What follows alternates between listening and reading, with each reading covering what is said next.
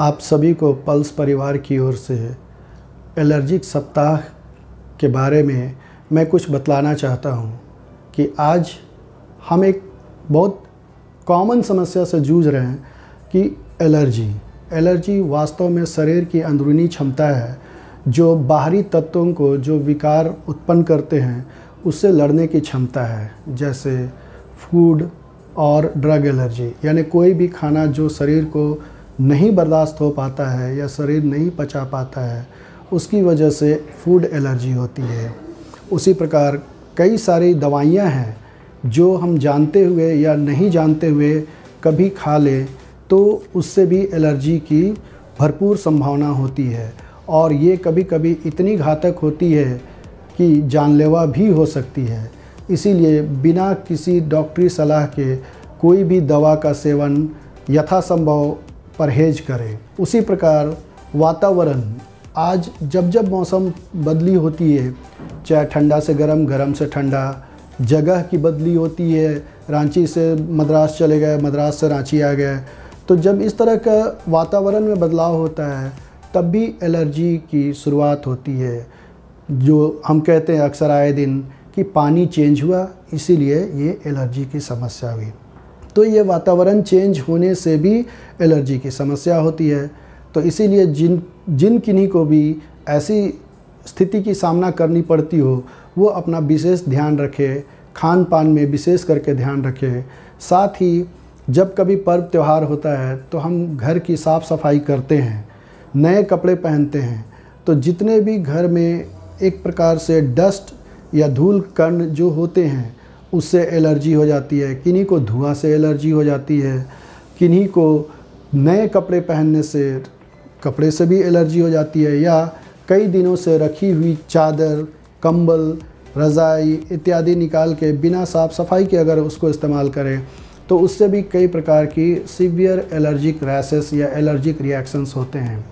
तो जब कभी इस तरह का मौसम बदली हो, जगह बदली हो खाना पीना का बदलाव हो तो इसे ध्यान दें कि ऐसी कोई चीज़ें बे, बेवजह नहीं इस्तेमाल करें और अपना ध्यान खुद रखें, स्वस्थ रहें, सुरक्षित रहें। धन्यवाद।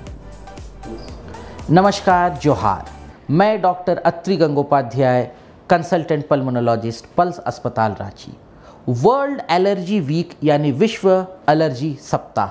में मैं ये मैसेज देना चाहता हूँ कि जैसे कोविड के बाद हम लोग वापस दुनिया में नए तरीके से जीना सीख रहे हैं, एलर्जी की संख्या, एलर्जी की मात्रा बहुत हद तक बढ़ी है। जितने लोग कोविड से सफ़र किए थे, इनमें बहुत लोगों को एलर्जी की परेशानियाँ हो रही है, जैसे बार बार छींक आना, नाक बंद, नाक से पानी कभी कभी खुजली होना, शरीर में दाने निकलना कभी कभी सूखी खांसी, साथ में गले में इरिटेशन होना। ये सब एलर्जी के लक्षण हैं। इसका इलाज संभव है। नागा ना करे किसी भी एलर्जी स्पेशलिस्ट डॉक्टर से मिलिए।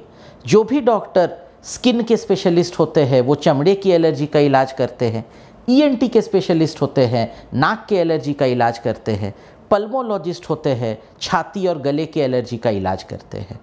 एलर्जी का इलाज संभव है।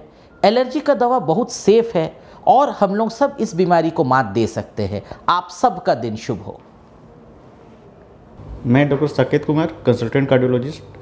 Pulse hospital Ranchi. अभी हम लोग world allergy awareness week celebrate कर रहे हैं। Allergy cardiologist point of view के इम्पोर्टेंट है। क्योंकि जो एलर्जी के पेशेंट होते हैं या फिर अस्थमा के पेशेंट होते हैं, उनका ये रिस्क भी ज़्यादा होता है कि उनको हाई ब्लड प्रेशर होगा या फिर उनका स्ट्रेस लेवल ज़्यादा होगा। जो कि हार्ट के लिए और लंग्स के लिए लॉन्ग टर्म में बुरा असर डालते हैं।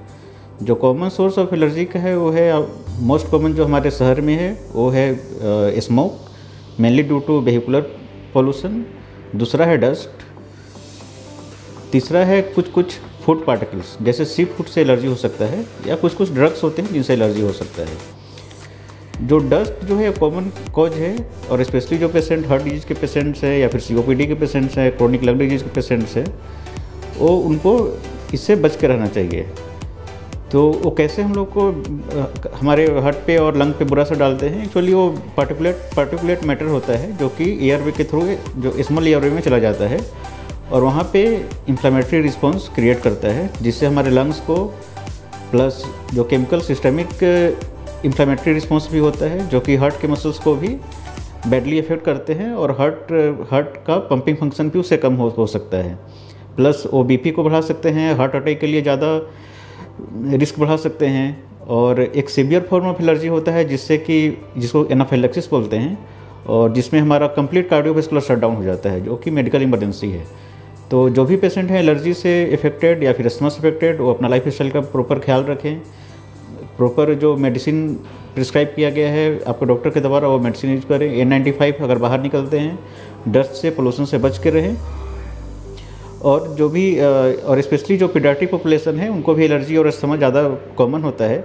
और ऐसा देखा गया है कि जो, जिनको अस्थमा होता है बच्चों में, वो बड़े होने पे उनको हार्ट की बीमारियाँ भी होती है लाइक डायबिटीज़ मेलाइटस हाइपरटेंशन तो अपना लाइफ स्टाइल को ध्यान रखें पोल्यूशन से डस्ट से बच के रहें और मेडिसिन जो भी है, उसको टाइम पे लेते रहें। थोड़ा सा प्रिवेंशन से हम लोग लॉन्ग टर्म कॉम्प्लिकेशंस को प्रिवेंट कर सकते हैं।